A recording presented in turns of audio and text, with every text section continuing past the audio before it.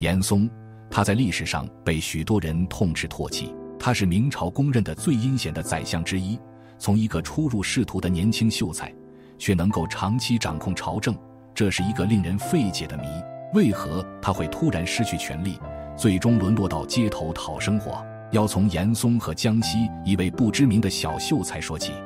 严嵩出生在一个普通县城家庭，从小展现出非凡的才智，九岁就开始在学堂读书，凭借出色成绩，十九岁变成了秀才。对于一个普通出身的年轻人来说，这是一件值得骄傲的事情。然而，严嵩并不止步于此，年轻时就怀揣着做官大业的雄心壮志。当时正值明孝宗在位，天下太平，严嵩想要利用这个好时机，在科举考试上努力，等待时机适宜时前往京城参加会试，争取在仕途上有所作为。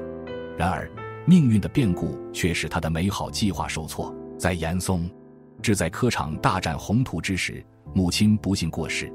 这一打击让他备受煎熬，直接导致他放弃了仕途，隐居了将近十年。十年后的严嵩已不再是当初那个积极向上的年轻人。母亲去世给他带来沉重的心灵创伤，这些年颓废的生活也耗尽了他大部分的朝气。然而就在此时，一个重要人物的出现改变了严嵩的命运轨迹。在大学士杨廷和的多次邀请下，严嵩终于抛下多年的颓废生活。奔赴京城，重返朝堂的严嵩，心境已不再像以往那般乐观坚定。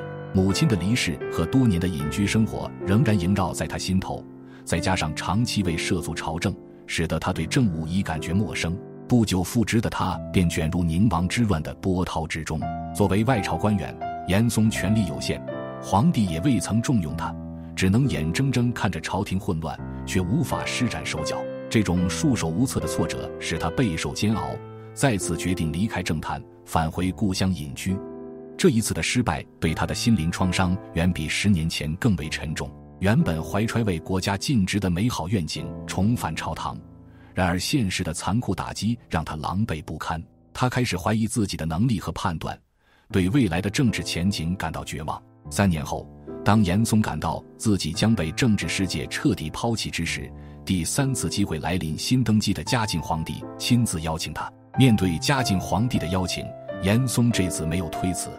经历两次失败的沉重打击后，他明白这或许是最后的机会。眼见朝中嘉靖刚刚登基，权力尚未巩固，急需人才来稳固统治。严嵩深知这是千载难逢的机遇，必须牢牢把握。因此。严嵩心中那份渴望做出一番事业的决心再度萌发，他下定决心，不再做被动挨打的局外人，要全力以赴，在朝堂上争取一席之地，实现这多年未实现的政治抱负。为实现自己的抱负，严嵩不拘那些所谓道德准则，他竭力取悦嘉靖，始终遵循皇帝的各种仪式，即使招致其他重臣的反对，也毫不在意。严嵩认识到。唯有赢得嘉靖信任和宠幸，他才有机会登上权力之巅。这种卖力奉承的策略居然奏效，很快严嵩就在嘉靖那里牢牢站稳了脚跟。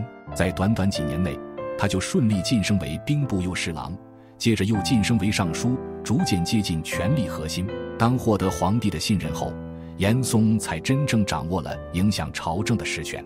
他意识到自己的地位尚不牢固，不满足于此。开始清除可能成为政治对手的人，所有曾经指责过他的官员，一个也逃不脱。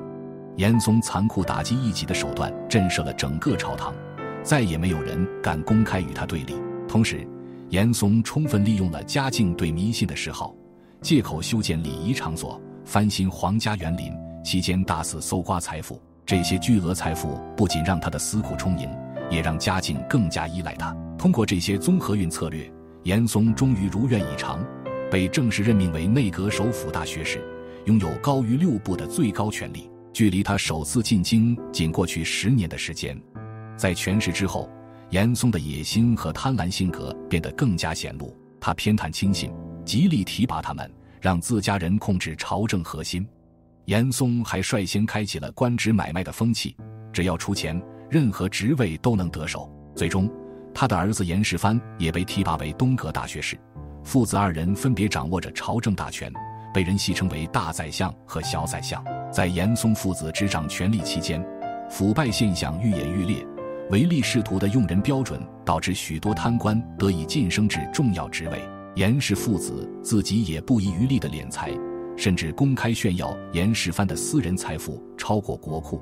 这种公然的腐败和挥霍引起了人们对严氏父子的强烈不满。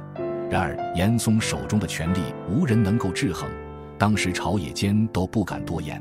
严嵩父子权倾朝野，统治朝堂长达二十多年。当时，严嵩已步入古稀之年，体力逐渐不支，开始将更多权力交给儿子严世蕃。严世蕃比父亲更为残忍、专横，加之极端贪婪，引发了民众对他们家族的愤怒。然而，一场看似不重要的意外事件，成为了推倒严氏父子的最后一根稻草。徐阶请来一位神秘高人为嘉靖占卜。这位高人在徐阶的指使下，当着皇帝面痛斥严嵩父子为朝廷奸佞，称赞徐阶等人为忠臣。嘉靖深受民信，深信高人言论，导致众多大臣积怨涌动，纷纷指责严氏父子的罪行。面对连续的攻击，嘉靖逐渐表现出疏远的态度。朝臣们察觉到皇帝的心思有所变化，这为摆脱严嵩提供了绝佳的机会。为了维护嘉靖的名誉。他们将注意力集中在更受人指责的小宰相严世蕃身上。尽管嘉靖内心或许还对严嵩有所偏袒，但在这种情况下，他只能下令处决严世蕃，并立即执行。在大臣们的请求下，严嵩被迫退休，被皇帝派遣回老家度过余生。从此之后，严嵩在朝堂上二十多年的荣耀时光宣告结束。他曾在权力巅峰创造奇迹，然而转瞬间又跌入了无底深渊。回到老家的严嵩，生活状况极为凄凉，一无所有，比他沦落时还要惨淡。他之前积攒的财富被没收，严世蕃也在监狱里丧生。习惯了多年奢华生活的他，连最基本的自理能力都已丧失，无法支付医疗费用，健康每况愈下。曾经高高在上的他，如今却沦落至行乞为生的悲惨境地。严嵩手捧一个金钵在村里行乞，却无人施舍，最终在街头离世。临终之际，甚至没有棺材盖葬，也无人前来送别。或许有人会认为，这便是严嵩应得的报应。当他权倾朝野之时，残害了诸多忠良之士，贪婪搜刮，罪孽深重，数不胜数。严嵩终其一生，展现出权谋高超的一面，也经历了官场的坎坷艰辛。在我们批评其恶行之时，不要忽视他刚踏入官场时的纯真。这份纯真，也许是每位初踏社会、怀揣梦想的年轻人所共有的宝贵品质。然而，即便如此，当人们看到这位昔日艰相痛苦的挣扎在泥泞中，或许心中仍会涌起一丝怜悯之情。